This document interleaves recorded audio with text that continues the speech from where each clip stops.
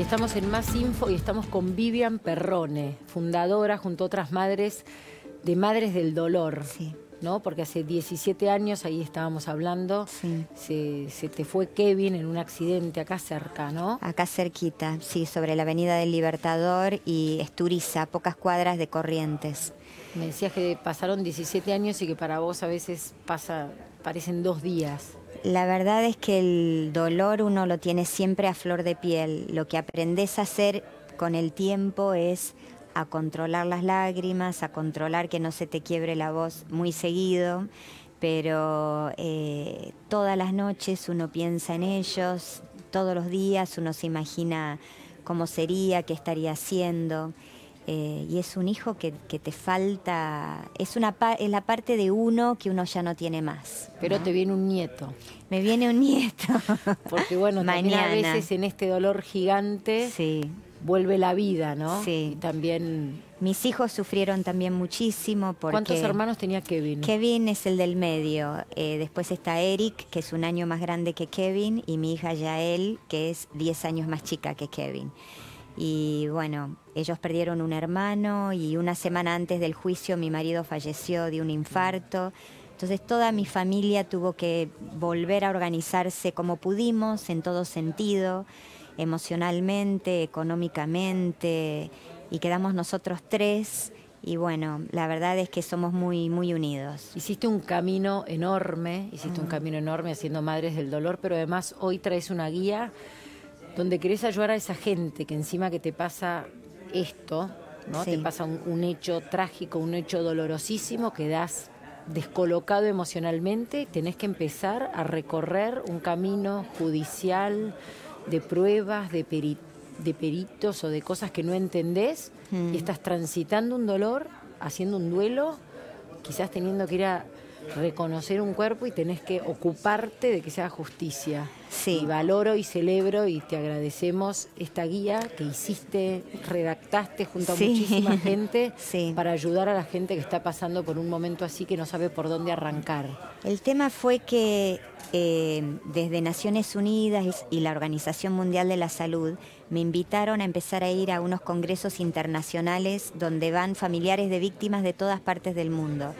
Formamos una ONG internacional y hicimos como una investigación. Y una de las preguntas que hizo una ONG de Inglaterra es, ¿qué material tienen las víctimas como para saber el camino a seguir? Y nosotros acá en la Argentina dijimos nada, No. la verdad que no, no tenemos nada. Y ahí fue cuando me acordé de esos primeros momentos, ¿no? Cuando desde la comisaría te dicen, anda a la fiscalía. Y vos decís, ¿qué es una ¿Dónde fiscalía? queda? ¿Dónde ¿Con que- quién hablo? ¿Por quién pregunto? no tenía bien claro qué hacía la fiscalía, qué hacía el juzgado, qué quería decir, este, no sé, diferentes palabras que utilizan legalmente. Y uno va aprendiendo sobre la marcha y como vos bien dijiste, en lugar de vivir un duelo, estás viendo el camino de la justicia que tenés que transitar. Entonces por eso fue Te voy que... a pedir esta guía, Sí. que la verdad es que la leí antes de que vengas, pero bueno, hay como números telefónicos, bueno, Sí. puedo llamar al 149. 149, ¿no? Tengo entendido, hay un sí. 0800 también. El de Madres del Dolor, que hoy justamente dimos también el 0800 porque estamos buscando un conductor que atropelló y se dio la fuga en la Avenida Independencia y La Rioja en Ciudad de Buenos Aires. Ahora, Esto este- fue el primero el de mayo a la mayo. noche Ah. y todavía están buscando quién fue el que mató eh, a un motociclista, Adriel Delgado, un joven que perdió la vida y la familia quiere saber quién mató a su hijo.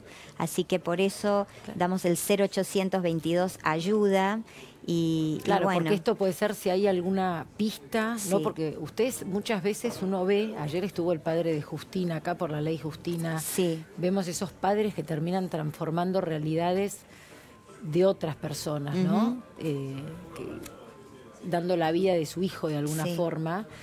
Vos lo que querés acá es decir, bueno, cómo se allana esto, pero haciendo también un vínculo entre la sociedad que puede aportar un dato, Sí. entre la persona que tiene que, que, bueno, que transitar esto, Claro, y el Estado también, que a tiene que veces ayudar. eh, la guía de víctimas quizás la víctima en sí o la familia cercana a la víctima quizás no va a estar con la cabeza mentalizada como para leer la guía, pero siempre hay alguien que en ese momento dice, bueno, ¿qué hay que hacer? ¿Qué pruebas necesitamos? ¿Dónde tenemos que ir?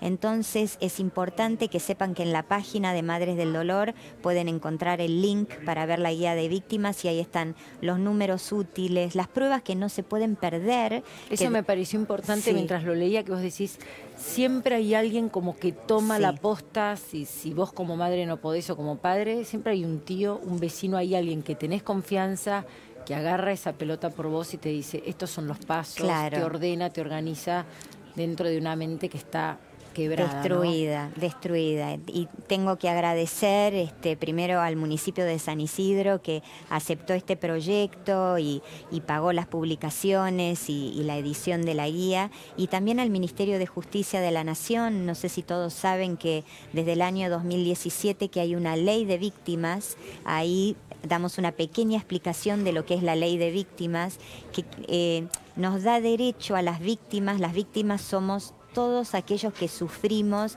no solamente quien fallece o quien queda con alguna discapacidad física, sino también los que emocionalmente estamos involucrados. Entonces, bueno, existe la ley de víctimas, existe el Senavid, que es un grupo del Ministerio de Justicia que dan apoyo psicológico, y un número que es el 149, donde se puede llamar. Vivian, sin querer... Eh, hacerte recorrer mm. nuevamente como ese paso, pero ¿Cómo es? O sea, uno tiene, tiene un accidente, tiene un accidente con un hijo, tiene algún hecho violento, queda violentado. ¿Y cómo son los pasos más o menos que uno tiene que transitar para que ya entre en, una justicia que uno, bueno, puede decir, bueno, ahora espero esta resolución, ¿no? Mira, yo soy docente, nunca en mi vida había entrado ni, ni a un juzgado ni nada, entonces cuando recibís ese llamado sea por un hecho vial, sea por una violación, sea por un hecho delictivo, pero cuando te dicen que tu hijo o un ser querido sufrió, en lo único que pensás es quiero eh, recuperar y estar con ese ser querido. Kevin estuvo internado una semana y fue en esa semana donde se perdió, digo yo entre comillas, o se perdieron muchas de las, pruebas. Por ejemplo, cámaras en cualquier hecho violento uno tiene inmediatamente tiene que preguntar, hay cámaras en el lugar porque algunas a las 24, 48 horas Y por eso es importante tener esta persona que cuando vos estás haciendo el duelo hay alguien que esté buscando las cámaras que pueden llegar a aparecer antes de que otro tal vez las borre. Claro, que, sin querer, no estamos diciendo que quizás esto ocurra a propósito, pero bueno, ir al lugar y decir, mire, no borre las cámaras porque ya la fiscalía va a venir a pedirlas. Si es un hecho vial, huellas de frenado, porque una huella de frenado puede decir a qué velocidad venía circulando ese auto, por supuesto testigos, y de los testigos se necesitan documentos, direcciones, porque en el caso de Kevin yo tomé nombres de testigos y después no tenía ni la dirección ni los documentos y muchos de ellos no los pude volver a recuperar. Claro, porque hay cosas que se buscan en el hecho, en el momento mismo, y hay cosas que se podrán hacer los próximos días, pero a medida que más tiempo pasa, peor, es. Y por supuesto cuando es un hecho de abuso sexual o de violación, es muy importante lo que tiene que ver con el ADN. Puede haber un ADN debajo de las uñas, sangre, algo que esté cerca, por eso nadie se tiene que acercar al lugar del hecho hasta que venga la fiscalía, la policía, porque a veces uno quiere mejorar o, tocar a la víctima y tenemos que esperar hasta que realmente puedan venir y puedan levantar todas las pruebas que hay en el lugar. Una guía que, que es dura, pero que mm. ayuda y que en un momento de, mucho dolor ayuda a, bueno, a uno poder tal vez hacer el duelo tranquilo porque alguien sabe cómo manejarse. ¿no? y no perder pruebas que en el momento que pasamos el duelo y vamos al, momento en que queremos la justicia, no perdimos pruebas importantes, ¿no? Yo debo ser una de las pocas personas que escribe y que dice, ojalá nadie lea lo que escribí, ojalá que no le haga falta absolutamente a nadie pero lamentablemente solo en hechos viales mueren 20 personas por día en la Argentina.